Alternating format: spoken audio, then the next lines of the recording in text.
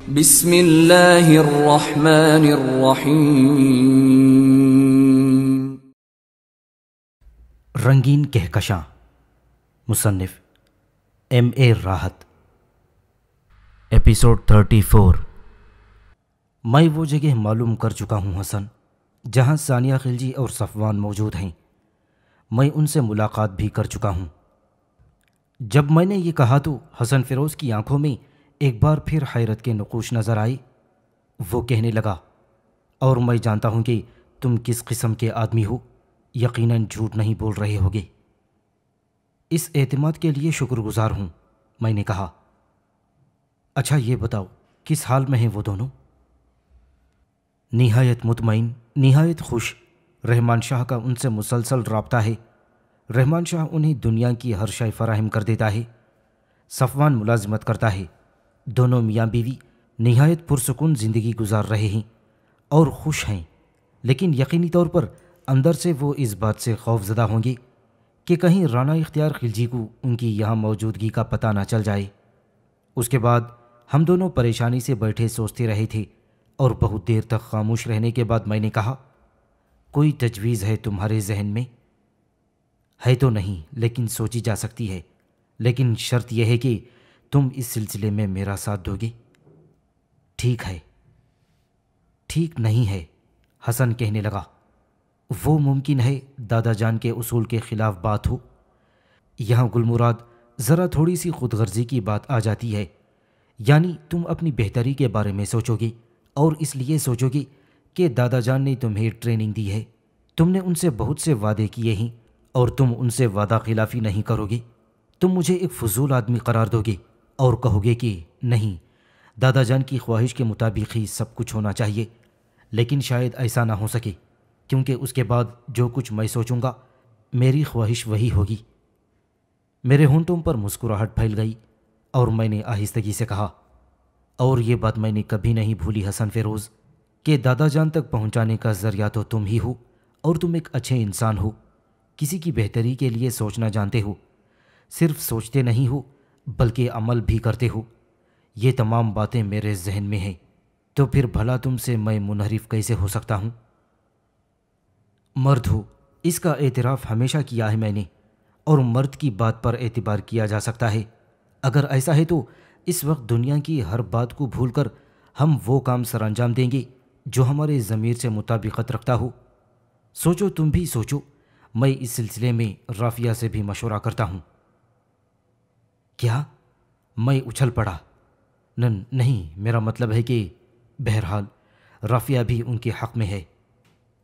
भूल कर भी ये ना करना। दिल की बात किसी औरत से कह देने का मतलब है कि तुमने उसे अखबार में छपवा दिया है। मैंने कहा, क्या तुम सचमुच मेरी फोकड़ी में खोड़ा समझते हो? अब इतना पागल भी नहीं हूँ मैं।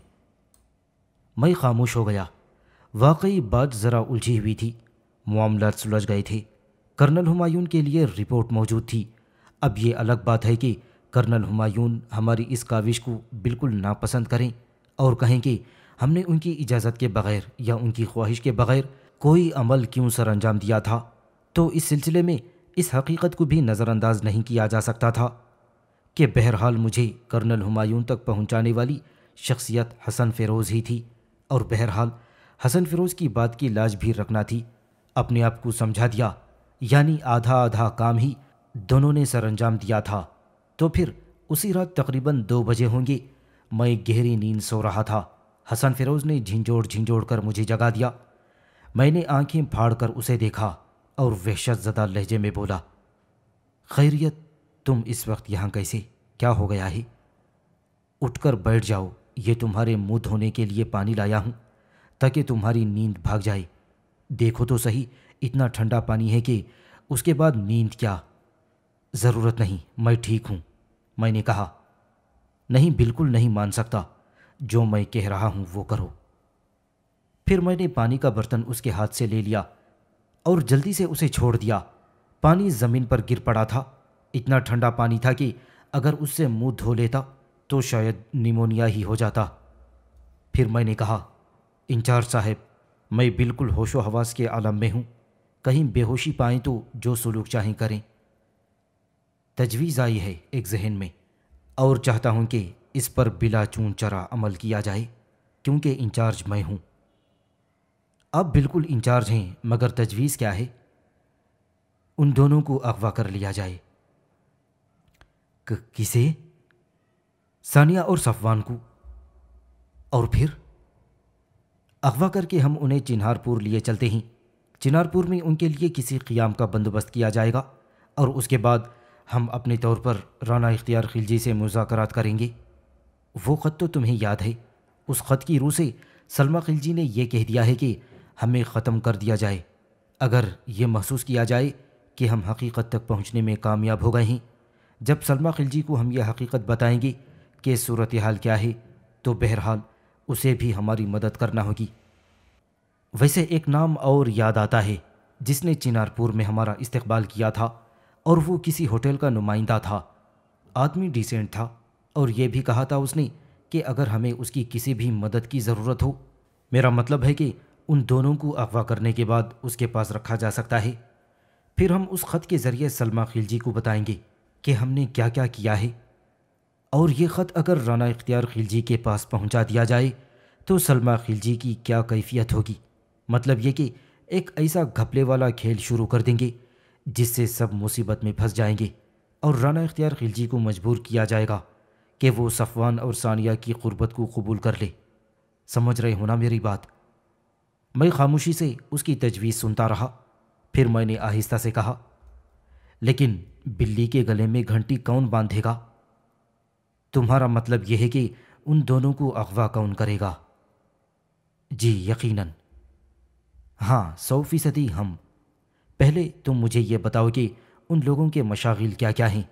उसके बाद ही हम बकिया कार्रवाई करेंगे। मैं चंद लम्हे सोचता रहा और फिर वही एहसास मेरे दिल में जागा। बात किसी हद तक बनने के काबिल है और हो सकता है कि कोई अच्छा ही नतीजा बरामद हो जाए। चुनाचे थोड़ी देर सोचने के बाद मैंने भी दिल में यह फ़ैसला किया कि ज़िंदगी में जब ये एडवेंचर लिखी दिया गया है तो फिर इससे गुरेज बेमानी है। वो करना पड़ेगा जो इन हालात में ज़रूरी है। उसके बाद जब मैं इस बात पर मुतफ़ हो गया तो मैंने हसन फ़ेरोज़ को उनके मामूलात के बारे में बताया और ये भी बताया कि आइंदा के लिए कह दिया गया है कि अगर रहमान शाह वहाँ न आया तो मुझे इस सिलसिले में मखसूस कर दिया गया है और मैं ही वहाँ जाया करूँगा। ले, फिर क्या रह गया है प्यारे भाई? इसका मतलब तो यह है कि तकदीर हमारा साथ दे रही है और वो सब कुछ हो गया, जो कुछ चाहते हैं, यानी हो गया।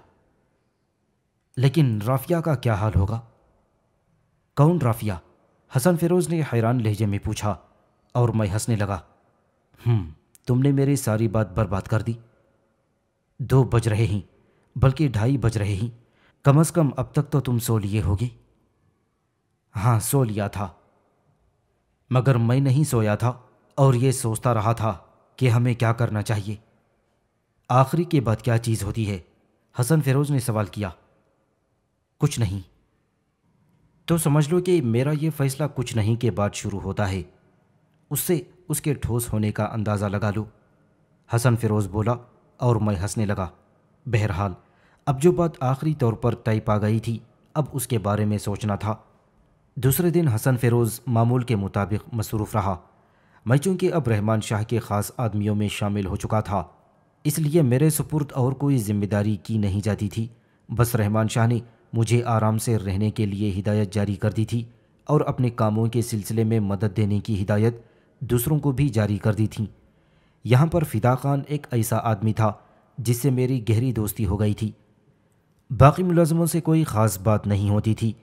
कोठी में मेरा कोई काम नहीं था। अलबत् हसन बड़ी कामयाबी के साथ राफिया को बेवकूफ़ बना रहा था। वैसे राफिया के बारे में मेरा तजुर्बा ये कहता था कि नहायत चालाक औरत है और हसन ने अगर उस औरत को शीशे में उतार लिया है तो कमाल की बात है। लेकिन बहरहाल, इन तमाम बातों के साथ साथ हम अपने मंसूबे के बारे में भी सोच रहे थे, जिसकी कामयाबी अब एक तरह से हमारी ज़िंदगी का वाहिद मकसद रह गई थी। और ख़ासा गौर करने के बाद आखिरकार मैं एक नतीजे पर पहुँच ही गया था। अब मुझे ये इंतज़ार करना था कि रहमान शाह जो अक्सर मुख्तलिफ़ कामों से कभी कभी निकल जाया करता था, किसी काम से निकले तो हम अपने काम का आगाज़ कर लें और तीसरे दिन तकदीर ने इस बात का मौका दे दिया। मैंने तमाम तैयारियाँ अपने तौर पर मुकम्मल कर ली थीं। मैं और हसन फ़िरोज़ कई बार इस मौजू पर गुफ्तु कर चुके थे और हमारे दरमियान ये अहम मसला तय पा गया था कि मुस्तबिल में हमें इस सिलसिले में क्या करना चाहिए। बस मौका मिल जाना शर्त था। चुनाचे हसन फिरोज ने अपने तौर पर और मैंने अपने तौर पर घोड़े हासिल कर लिए और मंसूबे के मुताबिक वहाँ से चल पड़े। हसन फेरोज़ बहुत ज़्यादा हिम्मत और दलेरी के साथ इस सिलसिले में काम करने पर आमदा था और मैं ये महसूस कर रहा था कि वाकई कर्नल जहांगीर अगर इंसाफ से काम लेकर अपने उस बेटे को भी एक पुरसकून ज़िंदगी अता कर देता तो शायद हसन एक जहीन, शानदार और निडर जवान साबित होता। मगर बाज़ अवक़ात इंसान अपने तौर पर किस तरह शख्सियत को मस्क कर देता है? उसका एहसास हसन से मिलने के बाद होता था। मई और हसन अलग अलग वहाँ से निकले थे और काफ़ी फासला तय करने के बाद एक जा हो गए थे। मुझे चूँकि रहमान शाह के ख़ास मुलाजिम की हैसियत से कुछ मुराद हासिल थी, इसलिए किसी ने मुझसे ये सवाल नहीं किया था कि मैं घोड़े पर कहाँ जा रहा हूँ। दोनों काम आसान थे। इस तरफ़ मंसूबे के मुताबिक हमें यानी मुझे ख़ास तौर से ये हैसियत हासिल थी कि मैं जब भी चाहता सानिया खिलजी से मुलाकात कर सकता था और बाकी काम कोई ख़ास अहमियत के हामिल नहीं थे। हसन खामोशी से मेरे साथ सफ़र कर रहा था। उसने कहा, हम अपनी ज़िंदगी के एक मिशन को नहायत कामयाबी के साथ सर अंजाम दे रहे हैं। इसके लिए कम अज़ कम दुआएँ करते रहना भी ज़रूरी है।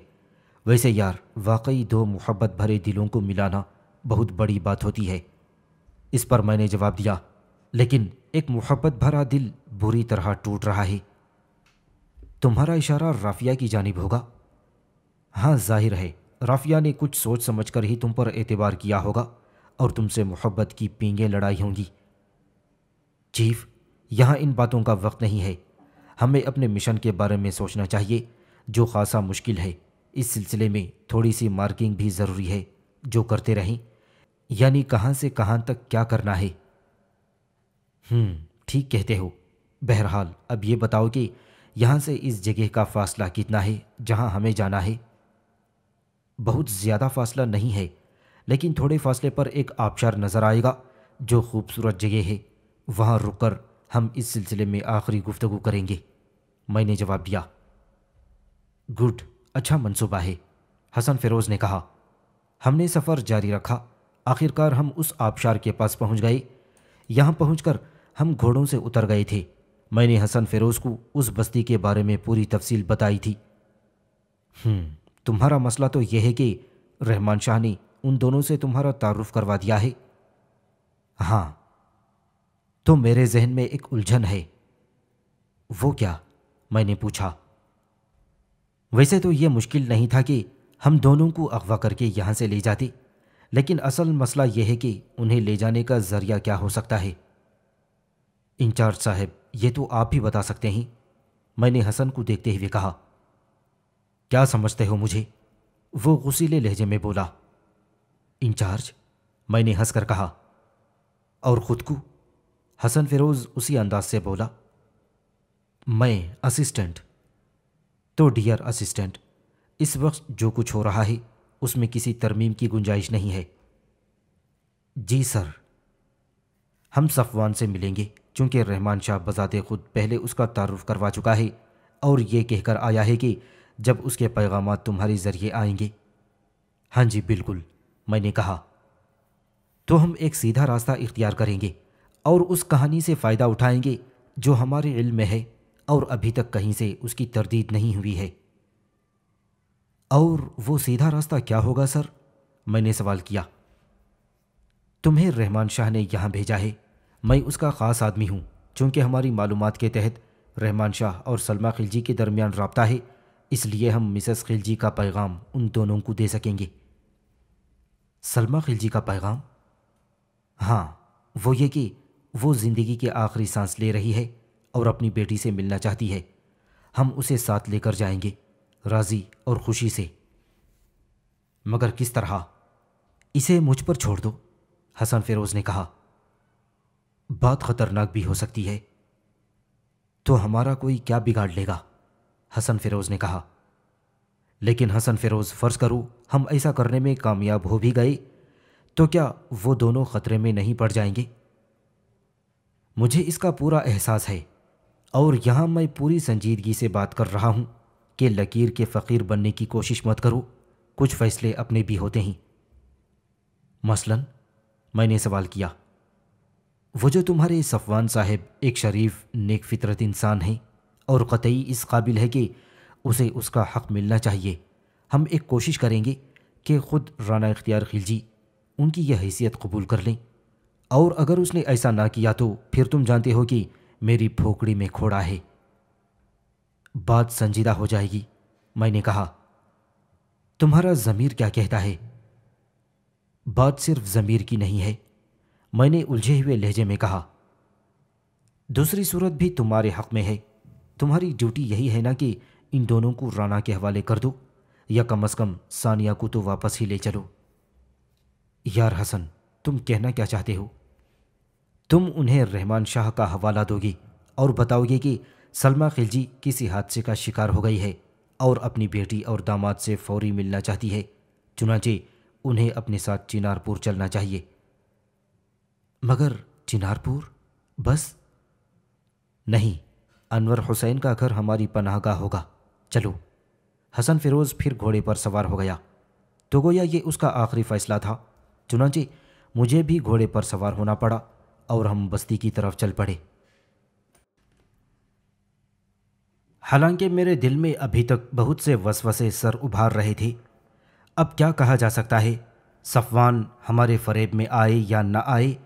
या फिर अगर मंसूबे के मुताबिक हम सफ़वान और सानिया को चिनारपुर ले जाएँ और वहाँ सूरत हाल बेहतर ना रहे तो सानिया के बारे में तो खैर इतनी तशवीश नहीं थी। लेकिन जैसा कि राफिया ने वाक़ात सुनाए थे और उन वाक़ात से ये अंदाज़ा होता था कि राना इख्तियार खिलजी की अना पर चोट लगी है और राना इख्तियार खिलजी को ये बात मालूम हो गई कि सफ़वान के ख़ानदान ने उसके साथ ये सब कुछ किया है या उसमें किसी न किसी शक्ल में रहमान शाह का भी हाथ है। तो एक लंबी जंग छिड़ जाएगी। खैर, ये जंग ज़ाहिर है, मेरे अपने ख़ानदान में तो नहीं छिड़ रही थी, लेकिन ये नहीं कहा जा सकता था कि दादा जान वो मेरे इस अमल को पसंद करें या ना करें, और मुझसे ये सवाल करें कि मैंने हसन फ़िरोज़ की बातों में आकर ये अहमकाना कदम क्यों उठाया था? तो इस मुश्किल में मेरे लिए मुश्किल लम्हात पैदा हो सकते थे। हालाँकि दूसरी सूरत में एक तस्वुर ये भी जहन में आता था कि मुमकिन है सानिया खिलजी की बाजियाबी के बाद रना इख्तियार खिलजी का नज़रिया भी बदल जाए। लेकिन अब यह सिर्फ़ सोचने की बातें थीं। हम इस मंसूबे को साथ लेकर चल पड़े थे, जिसके तहत हमने ये कदम उठाना था। अब बाद में इसके नतज जो भी बरामद होंगे, देखा जाएगा। रास्ते में हसन फेरोज़ ने मुझसे कहा, असिस्टेंट, चीफ, मैंने मुस्तादी से कहा, क्या सोच रहे हो? कोई ख़ास बात नहीं, चीफ। असिस्टेंट, झूठ क्यों बोल रहे हो? इतनी देर तक खामोशी इख्तियार किए जाने का मतलब यही है कि इख्तियार खिलजी के बारे में सोच रहे हो और अपने अंदर बेख्तियारी महसूस कर रहे हो। ज़ाहिर है, इस वक्त यही नज़रिया सामने है। मैंने कहा, आह, काश तुम्हारी फोकड़ी में भी खोड़ा होता। तो उससे क्या फ़र्क पड़ता? यह कैफियत बहुत सी बातों से बेनियाज कर देती है। मसलन मसलन ये कि पहले करो, फिर सोचो। जब हमने फ़ैसला कर लिया है कि कुछ करना है तो अब सिर्फ़ करने ही के बारे में सोचो। और जो कुछ करना है, उसे कामयाब बनाने के बारे में काम करते रहो। ज़ोर किस पर हो? करने पर। वैसे घोड़े की पुष्ट पर भी ज़ोर दिए रखो। मैं महसूस कर रहा हूँ कि तुम्हारा घोड़ा बार बार ठोकर खा रहा है। चीफ, मैं घोड़े की धूम पर बैठकर भी सफ़र कर सकता हूँ, मैंने कहा। करके दिखाओ, मैं तुम्हें इनाम दूँगा। हसन फिरोज़ बोला। और मैं हंसने लगा। हसन फिरोज़ खामोश हो गया था। कुछ देर के बाद उसने कहा, देखो, जहाँ तक सूरत हाल का इल्म हो चुका है और जो कुछ हमारे सामने आया है, मैं समझता हूँ यही फ़ैसला सबसे मुनासिब है, जो हमने किया है। और इसमें कोई तरमीम यूँ समझ लो कि मामलात को उलझाने का बाइस बनेगी। हमें इससे कोई फ़ायदा हासिल नहीं होगा। पूरे एतमाद से तुम्हें ये बात कह रहा हूँ। नहीं, मुझे इससे कोई इख्तिलाफ़ नहीं है। वाकई कोई इख्तिलाफ़ नहीं है। बस ये ख्याल है कि हम धोखा देकर उन दोनों को ले जा रहे हैं। कहीं ऐसा ना हो कि सफ़वान की ज़िंदगी को कोई ख़तरा दरपेश हो जाए। मोहब्बत के बारे में मेरी बहुत ज़्यादा मालूम तो नहीं है, लेकिन इतना मैं जानता हूँ कि सानिया खिलजी जो कुछ ठुकरा कर सफ़वान के साथ यहाँ इन पहाड़ों में आबाद हो गई है, सफ़वान के साथ साथ खुद भी जान दे देगी और सफ़वान को नुकसान नहीं पहुँचने देगी। ये बात तुम कैसे कह सकते हो, चीफ? मैंने पूछा। यार, शादी नहीं की, लेकिन बारातें तो दिखी हैं। कैसा मुहावरा है? मुहावरे की हद तक तो अच्छा है, बारातें देखने से क्या हासिल होता है? मैंने पूछा। दिल को सुकून होता है कि देखो, एक और गधा फंसा। हसन फिरोज ने कहा, और मैं बेइख्तियार हंस पड़ा। फिर उसके बाद हम लोग बहुत देर तक बातें करते रहे। मैंने अपने खदशात का इजहार हसन फिरोज़ से कर दिया था और हसन फिरोज़ भी न जाने क्यों संजीदा हो गया था। फिर उसने कहा, देखो ये क्या है? मैंने घोड़े को संभाल कर उसकी तरफ़ देखा। वो अपने हाथ का एक पंजा सीधा किए हुए था। उसने उसी की जानब इशारा किया था। मैंने उससे कहा यह हाथ है और हाथ में क्या है? फ़िलहाल तो खाली नज़र आता है। असिस्टेंट मेरा हाथ तुम्हारी खोपड़ी की तरह खाली नज़र नहीं आ रहा। क्या मतलब? मतलब ये कि तुम्हारी खोपड़ी में भेजा है। मेरा ख्याल है होना तो चाहिए, मैंने कहा। नहीं है। चीफ कह रहा है तो मान लेता हूँ। प्यारे भाई, ये हाथ है और हाथ में उंगलियाँ हैं। कमाल है यार, अगर उंगलियाँ ना होती तो हाथ कैसे होता? बिल्कुल बिल्कुल। यही मेरे कहने का मतलब है। तुम्हें ये उंगलियाँ सीधी नज़र आती हैं ना? हाँ बिल्कुल सीधी हैं। और अब हसन फिरोज ने सारी उंगलियाँ टेढ़ी कर ली थीं। टेढ़ी हो गई। गुड वेरी गुड यही मैं तुम्हारी ज़ुबान में सुनना चाहता था। इसका मतलब है कि तुम्हारी निगाह कमज़ोर नहीं है। मेरा मतलब है कि हम सफ़वान और सानिया को चिनारपुर तक ले जाने में अगर कामयाब होते हैं, और अगर राना इख्तियार खिलजी उनके साथ कोई बदसलूकी नहीं करता है और कबूल कर लेता है तो हमारा काम ख़त्म हो गया। और अगर राना इख्तियार खिलजी उन लोगों के साथ कोई सख्ती करता है तो हम उसे समझाने की कोशिश करेंगे। और अगर वो ना समझा तो उसके बाद उंगलियाँ टेढ़ी कर लेंगे। क्या समझे? उंगलियाँ टेढ़ी करने से क्या होगा? मैंने पूछा। अभी ना मालूम करो तो बेहतर है, वरना क्या फ़ायदा? हम इससे बस्ती तक नहीं पहुँच पाएँगे। हसन फेरोज ने गुसीले लहजे में कहा, अब बस्ती तक तो हम पहुँच गए। वो देखो, गहराइयों में धुआँ उठता नज़र आता है। मैंने एक तरफ़ इशारा करते हुए कहा, और हसन फिरोज उस जानिब देखने लगा, और फिर मुस्कुराता हुआ बोला, वाह, क्या खूबसूरत नाम है। किसी कहानी का उन्वान रखा जा सकता है, गहराइयों में धुआँ। बस्ती बहुत खूबसूरत लग रही है। चलो ज़रा घोड़ों की रफ्तार तेज कर लें। हमें उसी धुएँ की तरफ़ सफ़र करना है, मैंने कहा। धुएँ की सिमत सफ़र दूसरा अच्छा नाम है, हसन फिरोज ने कहा। और फिर चौंक कर बोला, औरतों की नस्बत मर्ज ज़्यादा काबिल एतबार होते हैं, और फैसला करने का हक मर्दों ही को पहुँचता है, जबकि अगर हम सानिया खिलजी के पास पहुँचे, और हमने उसे अपने मंसूबे के मुताबिक सूरत हाल बताई, और वो बदहवास हो गई तो फिर क्या होगा? बेहतर तो यह है कि हम सफ़वान से ही चलकर बात करेंगे। अब फासला मुख्तसर हुआ और आखिरकार हम उस वसी व अरीज़ कारखाने तक पहुँच गए, जहाँ सफ़वान सिविल इंजीनियर की हैसियत से काम करता था। फिर सफ़वान को तलाश करने में कुछ वक्त लगा था। हसन फिरोज़ को तो खैर सफ़वान क्या ही पहचानता, लेकिन उसने मुझे पहचान लिया था।